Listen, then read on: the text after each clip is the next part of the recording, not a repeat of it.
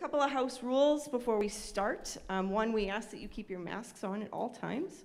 Uh, number two, we ask that any of your noise-making devices are silenced. These kids have been working super hard, and we really don't want anything to distract from that.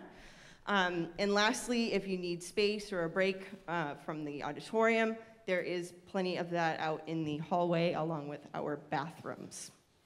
Um, so before I introduce our performing group to you, I'd like to introduce someone special to you. Uh, this is Mrs. Erin Ernst, who is the president of our Foxborough Music Association.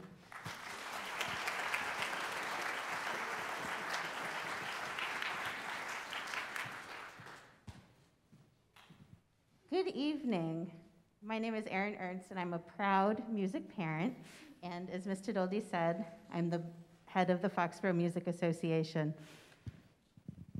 I gotta take this down. On behalf of the FMA, welcome to tonight's concert.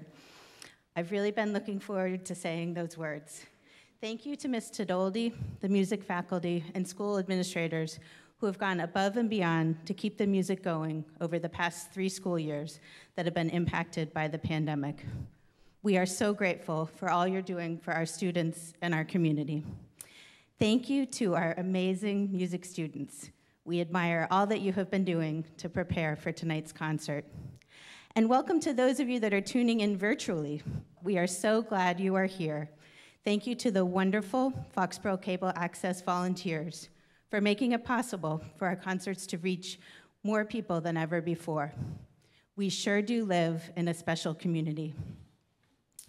There's a lot that goes on behind the scenes to bring this and other high quality musical performances to our community.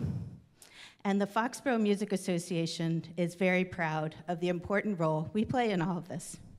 We're a volunteer based organization, we're a nonprofit, and we're dedicated to promoting and enhancing the music education experience of students in the Foxborough Public Schools. Through our collective efforts, the FMA is able to provide funding for student scholarships, which can be used for private lessons and camps, and for commissioned works that are debuted right here in Foxborough and later performed around the globe. There's actually a very special commission in the works that will debut this May and will be a true celebration of community. Our funding also enables our music faculty to invite guest artists for master classes and workshops, giving our students the opportunity to work and perform with world-class musicians. You'll get to experience this tonight with our talented guest artists. All of these activities enhance the quality of the music education and performances here in our community of Foxborough.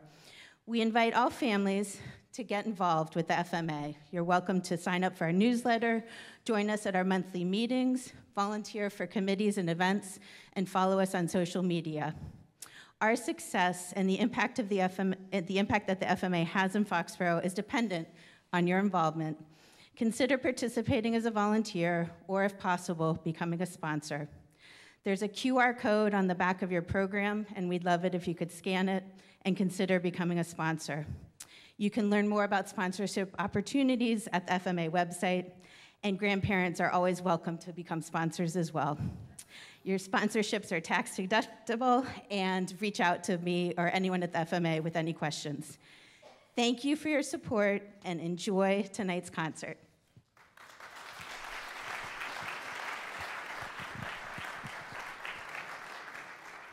Thank you, Ms. Ernst. And just to reiterate what she said, the, um, the soloists that you see this he evening here with us are uh, sponsored by the FMA, and our tenor soloist, Berg Svein Toverud, who you'll meet tonight, also spent the day with us at the middle school, uh, working with our middle school students who got to meet a real live opera singer. And for them, that was really a cool experience for them. So not only do you see what happens up here, but they get to spread um, their time and knowledge with the students of Foxborough. And next week, Tanya Darby, who was a trumpet trumpet soloist from the Berklee School of Music, also plays with the Jazz Lincoln Center, has played in the Diva Big Band, will also be in residence with us here at Foxborough High School, uh, working with your students. So we thank the FMA, and they do so much for us and really make all of this possible. So with that, we are excited to kick off our concert, and I would like to welcome to the stage the Foxborough High School Concert Choir under the direction of Brian Raymond.